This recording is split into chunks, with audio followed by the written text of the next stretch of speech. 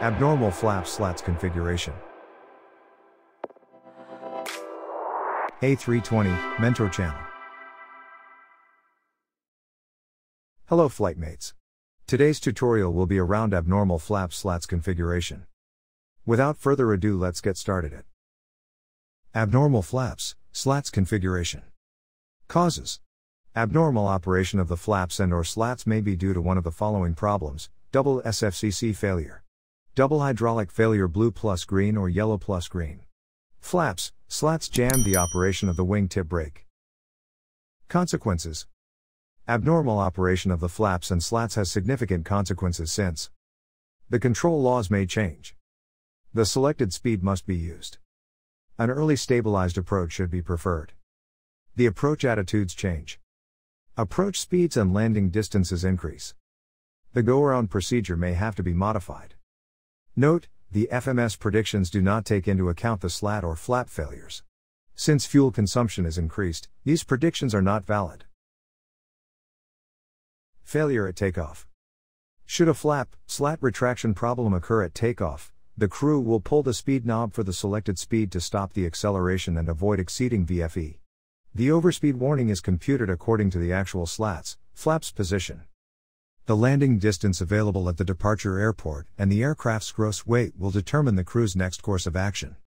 Now let's dive into all the possible failures of the flaps and slats. The first one will be the failure of the flap system 1 fault.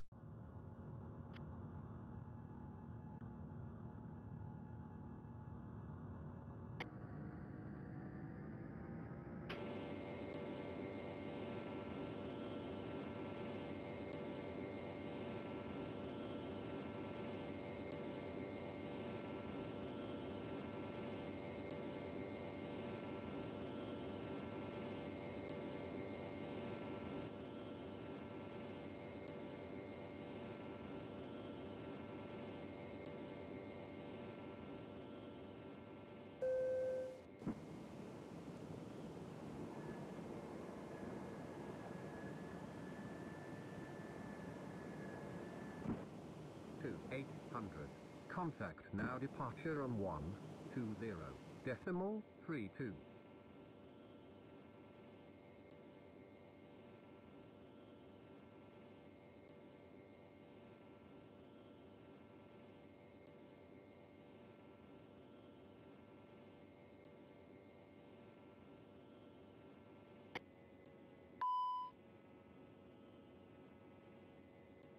Flight controls flap system 1 fault. ECAM actions. EGPWS flap mode off.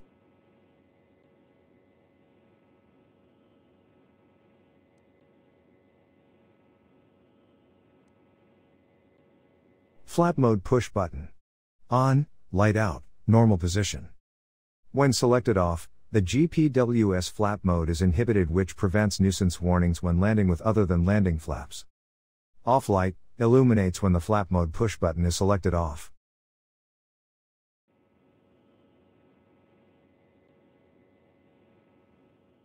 In the status page, we have Engine 1 approach idle only. This means as the FADEC of Engine 1 no longer receives a bleed demand correction, only approach idle can be selected. Hence, higher speed, approach idle, is regulated according to aircraft altitude, regardless of bleed system demand is selected in flight when the flaps are extended, flaps lever not at zero position, allows the engine to accelerate rapidly from idle to go around thrust. As well, we will have a slow flap action.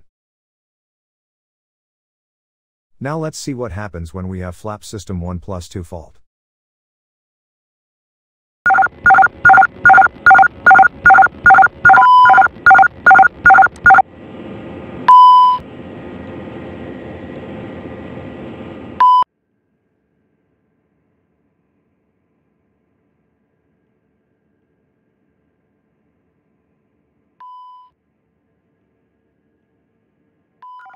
In this case, we lost the autopilot plus the auto thrust due to the system no longer being able to receive flap position information.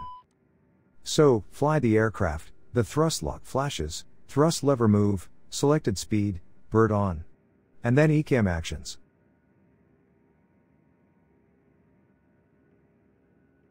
Auto flight. Autopilot off. Flight controls. Flaps fault. Max speed 215 knots, because is the maximum for 1 plus F. Flap lever recycle. Fuel consumption increase. FMS predictions unreliable. Auto flight auto thrust off.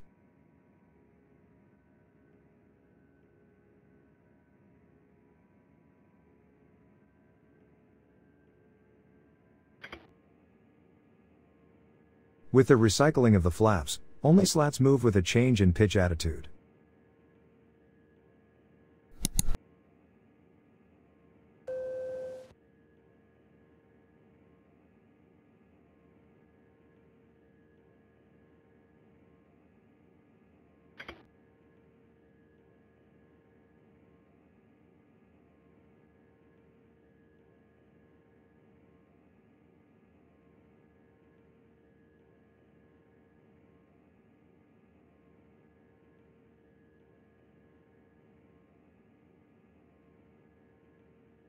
Clear flight controls.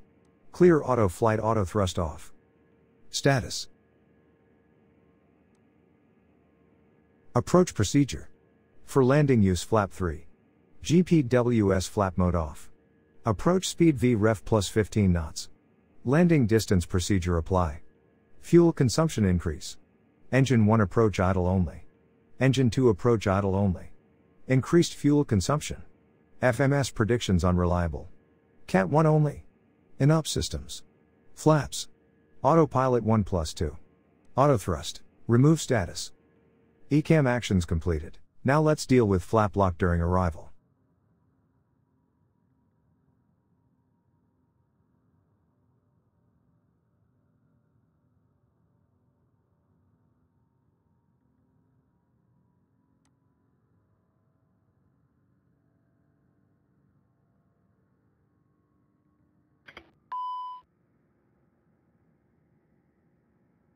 Flight controls.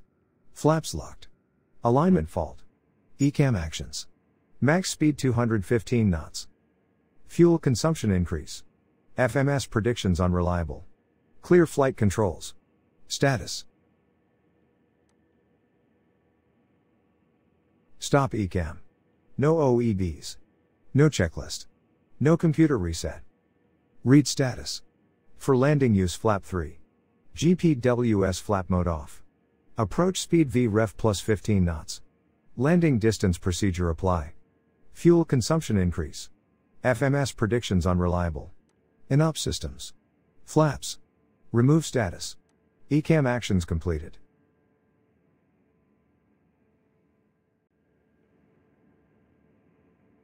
Then, we proceed with the cockpit preparation, use the Airbus FlySmart for the runway assessment. Just remember, the VREF is the VLS in configuration full. In this case, the V approach speed will be 144 in flap 3. For landing, we use the longest runway. During the abnormal briefing mention the tail strike awareness for the A320 10 degrees and for the A321 7.5 degrees. As well as brief the QRH landing with slats or flaps jammed. And review the fuel penalty factor.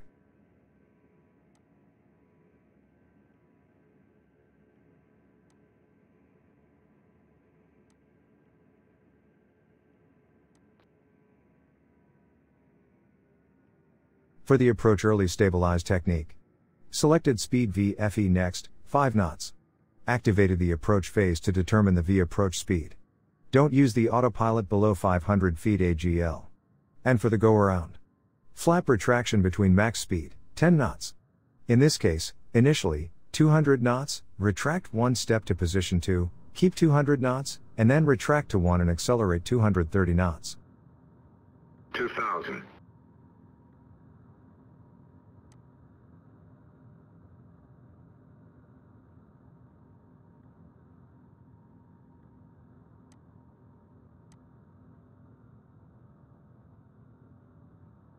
One thousand five hundred.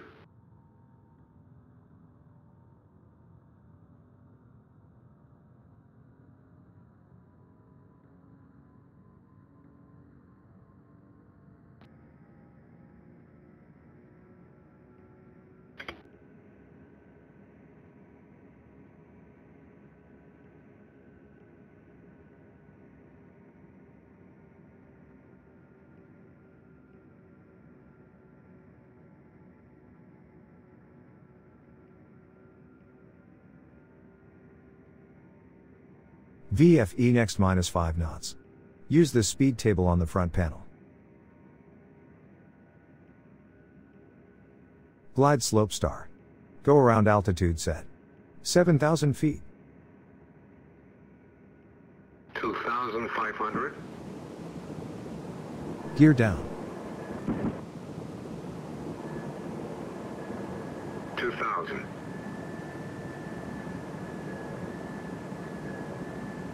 Flap 3. Selected speed 144 knots.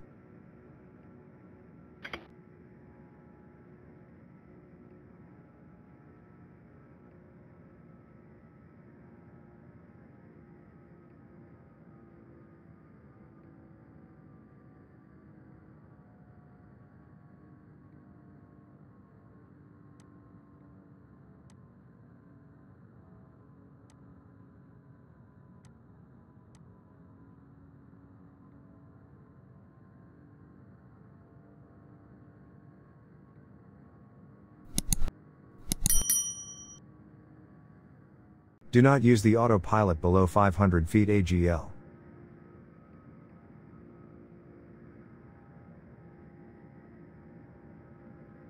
Five hundred.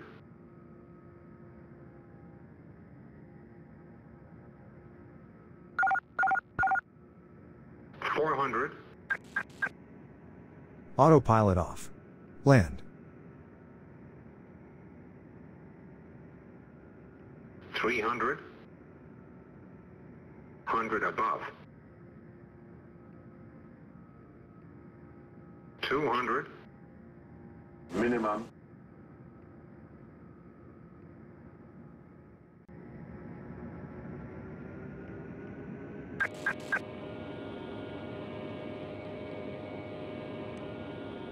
Autopilot on. Go around. In this case, accelerate first to max speed minus 10 before go around flaps. Selected speed max speed minus 10 knots.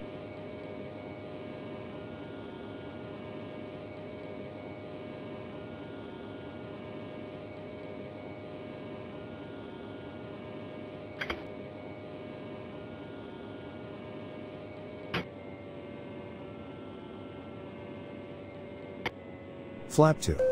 Thrust climb. Gear up.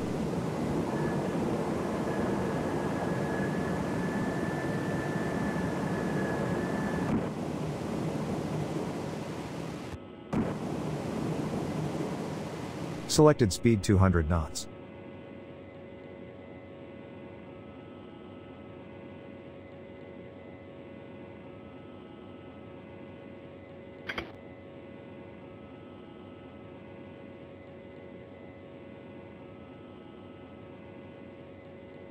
Flap 1 and selected speed 230 knots.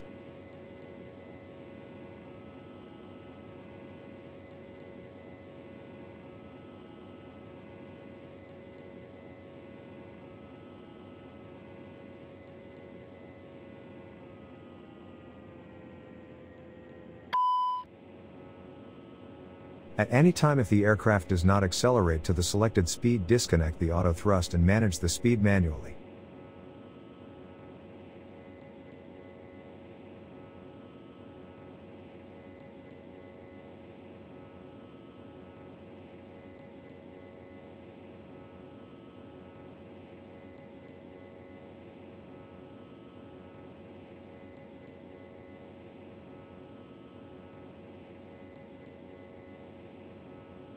So, I hope you have enjoyed this tutorial about abnormal flap slats configuration for Airbus A320 family. Stay tuned. See you soon in my next tutorial. Thanks for watching the A320 Mentor channel. Fly safe and be safe. Your Captain Mike speaking. Goodbye.